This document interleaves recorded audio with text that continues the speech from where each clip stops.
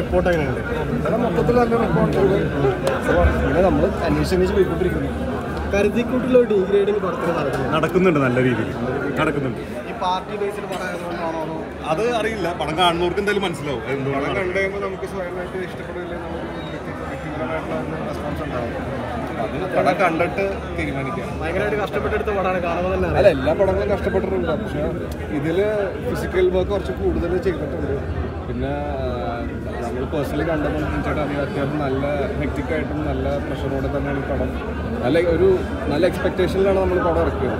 അപ്പൊ എല്ലാവരും അജഗജാന്തരവും സ്വാതന്ത്ര്യ അർദ്ധരാത്രി എക്സ്പെക്ട് ചെയ്ത് വന്ന് അത് കിട്ടിയില്ല എന്നുള്ള കുറേ പറയ- പറയുന്നുണ്ട് പക്ഷേ ഒരു മേക്കറിന്റെ പോയിന്റ് ഓഫ് വ്യൂ നമ്മൾ ഓരോ പടം ഓരോ രീതിക്ക് നിൽക്കണം എന്നൊരു ആഗ്രഹമുള്ള ഒരാളാണ്. നമ്മളൊരു ആക്ടർ ആയാൽ തന്നെയും ഏറ്റവും കൂടുതൽ ആഗ്രഹിക്കുന്നത് ഓരോ കഥാപാത്രം മാറി മാറി ചെയ്യാനാണ് അപ്പോൾ അതിൽ ഒരു ഭാഗമാണ് നമ്മുടെ ചാനൽ അപ്പോൾ എല്ലാവരും എക്സ്പെക്റ്റേഷൻ അജഗജാന്തരം മൂട് വെച്ച് വരരുതെന്ന് ഓൾറെഡി നമ്മൾ ഇന്റർവ്യൂലൊക്കെ പറഞ്ഞായിരുന്നു.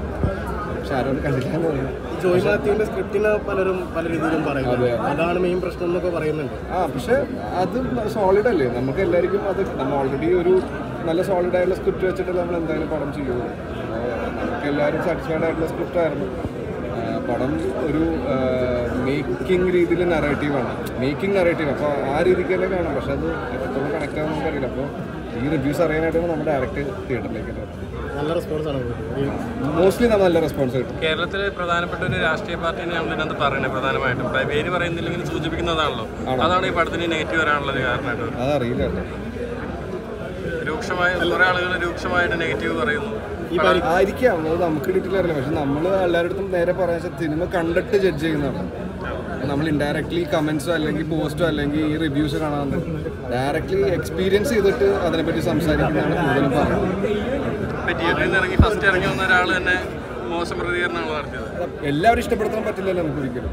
മാക്സിമം കൂടുതലും പക്ഷെ നല്ല റിവ്യൂസ് വന്നു. നമുക്കതാണ് ഏറ്റവും കൂടുതൽ ഹാപ്പി ആയിട്ട് ആ പാർട്ടിയുടെ തന്നെ പേജിലൊക്കെ ഇതിപ്പോ ഈ പടം കാണരുത് എന്നുള്ള രീതിയിൽ കുറെ ഏത് പാർട്ടിയാണ്?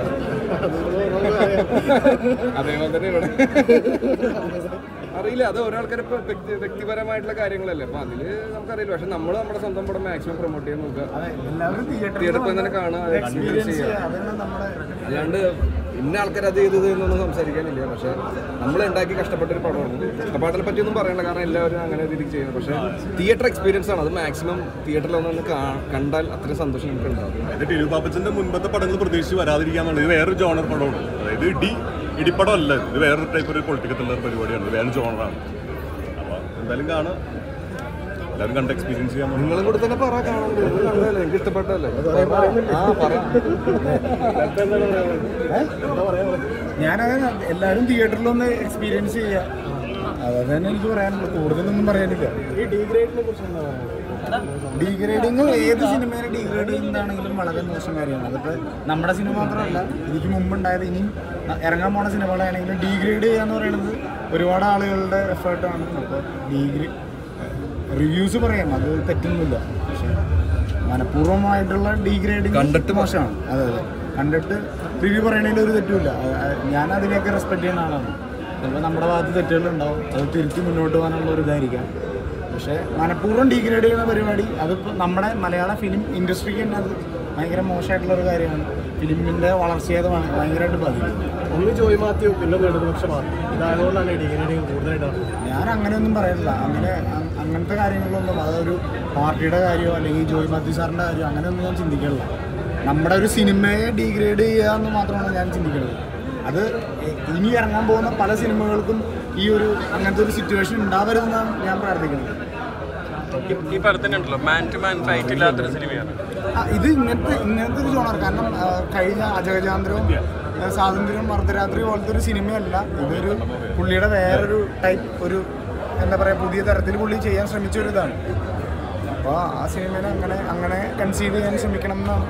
അതിപ്പോൾ കാണികളുടെയാണ്. എല്ലാം കാണികളുടെ തീരുമാനങ്ങളാണ്. കാണികളുള്ളതുകൊണ്ടാണ് നമ്മളൊക്കെ ഉണ്ടാവുന്നത്. അപ്പം അതിനെ ഞാൻ റെസ്പെക്ട് ചെയ്യുന്നു. എല്ലാവരും തിയേറ്ററിൽ വന്ന് നമ്മുടെ സിനിമ കാണുക സപ്പോർട്ട് ചെയ്യുക. ഇതാണ് എനിക്ക് പറയാനുള്ളത്. നമുക്ക് റിക്വസ്റ്റ് ചെയ്യാനേ പറ്റുള്ളൂ. നമുക്ക് request ചെയ്യാനേ പറ്റില്ല അപ്പോൾ മാക്സിമം താങ്ക് യു